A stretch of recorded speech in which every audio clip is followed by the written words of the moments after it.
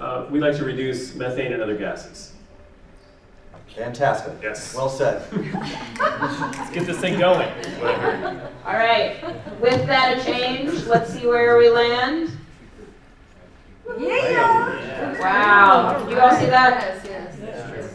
Yes, yes. So we were at 3.2 degrees, and with that adjustment to highly reduce our methane and other gases, we're down to 2.8. There is a lot in this sector. So in addition to the methane emissions, which come from where? Where do our methane emissions come from?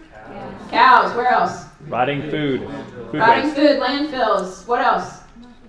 Natural gas. Great. And then in addition to methane, in that in that slider that you just adjusted there is nitrous oxide. Big source uh, from agriculture emissions, like our fertilizers. Um, and then also a suite of other gases known as the F gases. Um, so those show up in our uh, air conditioning units and refrigerants and heavy industry. Um, you're reducing those too. Um, so there's a lot, a lot hidden in that slider.